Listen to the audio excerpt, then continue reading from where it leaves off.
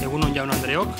En primer lugar, eh, quiero agradecer eh, tanto a la presidenta de la comisión y también al resto de, de, componentes de todos los grupos municipales el hecho de que hayan votado a favor de la urgencia de la celebración de esta comisión extraordinaria de presidencia en la cual participo o, comparezco, mejor dicho, a petición propia, tal y como me comprometí ante los grupos municipales y ante la ciudadanía, tal y como se me solicitó también por parte de los grupos municipales de la oposición, con el fin de aportar con toda transparencia, luz y taquígrafos en relación con la intervención policial eh, realizada el pasado día 31 de diciembre de 2015 en la calle Duque de Ahumada con relación a un accidente de circulación en el cual se vio implicada la concejala de Cultura de este ayuntamiento. Tras el análisis de la documentación entregada, el letrado municipal en su informe ha determinado lo siguiente. Del artículo 21 del reglamento de circulación se desprende que los agentes de la autoridad que intervengan en relación a un accidente no están obligados, en todo caso, a someter a las pruebas de tilometría a los implicados en el mismo, siendo los implicados en el accidente los que sí están obligados a someterse a las mismas cuando sean requeridos por los agentes intervinientes.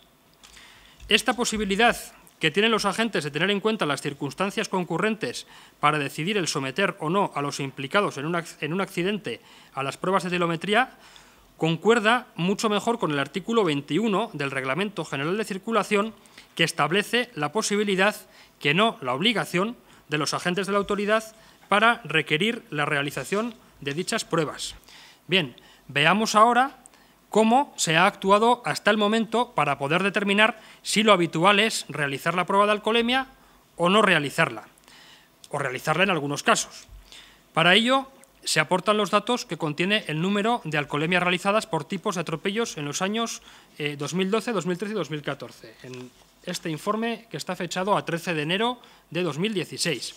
Bien, en el año 2012 eh, hubo 133 atropellos de peatones, de ellos 8 conductores fugados o aviso posterior y no se realiza prueba. De esos 133 atropellos se realizaron 80 pruebas de alcohol, es decir, en 53 casos no se realizó la prueba de alcohol. En el año 2013 hubo 133 atropellos con cinco conductores dados a la fuga y de esos 132 atropellos se realizaron 82 pruebas de alcohol. Por lo tanto, por lo tanto eh, en 50 casos de atropellos de peatones con heridos no se realizó la prueba de alcohol. En el año 2014 se produjeron 102 atropellos de ellos tres fugados y de esos 102 atropellos hubo 53 pruebas de alcohol. Por lo tanto, en el resto pues no hubo prueba de alcohol. Por lo tanto, es evidente que no hubo un trato de favor hacia la concejal Maider Beloki. Lo habitual es que no en todos los atropellos se realiza la prueba, ya que esta es una cuestión que debe valorar la gente. Ni siquiera se realiza en todos los atropellos graves. Se realiza o no se realiza en virtud de las circunstancias que tiene que valorar el agente interviniente in situ. Bien, analizados los informes de los policías intervinientes, se desprende que no había ningún indicio de que la conductora hubiera ingerido alcohol. Uno de los informes, el del policía 502, es contundente a este respecto y dice lo siguiente, su estado es de absoluta normalidad, no huele en absoluto alcohol, su semblante es totalmente normal, ni balbucea, sus ojos son absolutamente normales. Por lo tanto, no se consideró por los agentes intervinientes en ningún momento la necesidad de realizar la prueba ante la evidencia de que no había ingerido alcohol y dado que se trataba, o dado que no se trataba de un hecho grave, sino de un accidente leve y de mecánica sencilla. En conclusión, la intervención de los policías 051, 624 y 502 fue una intervención absolutamente correcta conforme con los protocolos y conforme con el ordenamiento jurídico. Pues bien, esos son los informes, esos son los datos y, como dicen en la tele, suyas son las conclusiones. Es que ricasco. Señor Maya, tiene usted la palabra. Muchas gracias. Hemos conocido los informes ahora sobre la marcha, por lo tanto es complicado poder opinar sobre algo que nos lo acaban de entregar. Pero a mí ya me han surgido varias dudas que, lógicamente, pues intentaremos poder preguntar con más precisión pero de momento las voy diciendo exclusivamente de lo que le he escuchado a usted, señor Romeo, y de lo que he leído en los informes. Lo que sí leo aquí, en lo que usted me acaba de dar, y lo he subrayado, es que de los graves, y este, si no estoy yo muy equivocado, es grave porque ha habido traslado, en el año 12 hay 10 pruebas de 11, en el año 13 hay 17 de 21 y en el 14 hay 14 de 17. Por lo tanto, sí que cuando hay traslado, parece ser, por eso lo digo con toda esa prevención, casi siempre se ha hecho la prueba. Y bueno, me quedaría un poco preocupado si lo que transmitimos de esta comparecencia a un ciudadano medio es que en caso de que haya un atropello incluso con traslado, el hecho de que se le haga o no la prueba de alcoholemia va a depender exclusivamente de una valoración subjetiva de los agentes. Muchas gracias, señor Maya.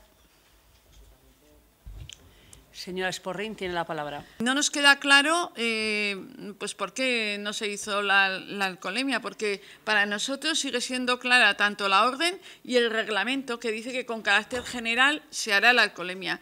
Luego, de la información que hemos oído así a, a, abuelo rápido, abuela pluma, pues sí que puedo decir que parece, ¿no? Parece, no lo puedo aseverar porque digo, tengo que, tenemos que analizarlo, que en los accidentes graves se, se hace la etilometría en la mayoría de las ocasiones.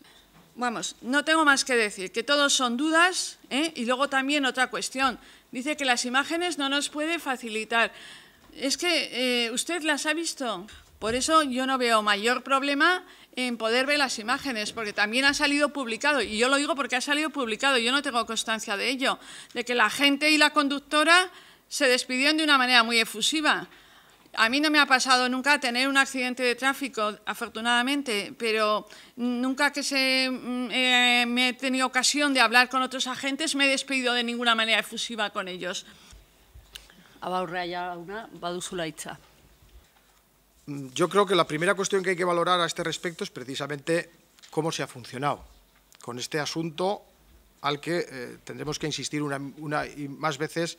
Alguien ha pretendido magnificar hasta el punto de que parece, según le escuchamos a la señora Sporrin, que nos encontramos casi en un supuesto de investigación criminal donde vamos a ver hasta el último... Eh, es decir, yo creo que la cuestión es más seria en lo que representa y yo creo que debe ser más seria en el tratamiento. ¿Qué es lo que ha hecho, en primer lugar, el Gobierno municipal de este ayuntamiento? Es decir, sucedido el día 31, el día siguiente, un día, con un día de tiempo, la señora Maider compareció y explicó lo que había ocurrido. Dos días después de que, a cuenta de eso, se solicitase información, se hizo una primera comparecencia de urgencia para contar lo que entonces se conocía, porque ya había solicitud de información en ese momento. No han pasado siquiera 14 días desde que se haya hecho esta nueva comparecencia para cerrar y entregar la información solicitada. Es decir, se ha funcionado con celeridad, poniendo carne en el asador para que se despejasen todas las dudas. Y se ha hecho con total y absoluta transparencia. Y están todos los informes a disposición. Yo no quiero hacer comparaciones con otras, pero creo recordar que a estas alturas, en un supuesto que alguien ha querido en algún momento asimilar, a los 14 días todavía UPN estaba pensando en cómo le bajaba el nivel de etilometría a su concejal. Creo recordar. Hay una cuestión que me va a permitir el señor Maya que usted se lo pregunte. ¿Cómo puede decirnos en este salón de plenos, aunque sea una comisión y no un pleno lo que estamos celebrando, que es mejor cambiar un sistema que usted ha mantenido de manera invariable? Y la pregunta que le haría yo a usted, señor Maya, es, permítame que le haga esta pregunta. ¿Usted no conocía todo esto? ¿No sabía cómo funcionaban los protocolos?